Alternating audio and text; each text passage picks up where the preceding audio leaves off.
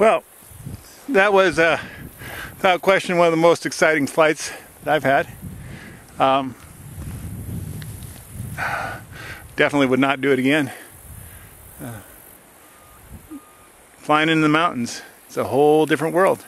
And uh, you got to be very, very careful. And in this case, I think kind of lucky.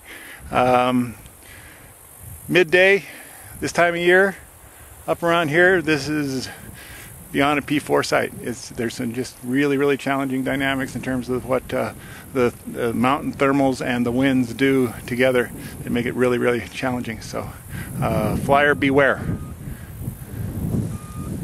It's beautiful country, absolutely gorgeous.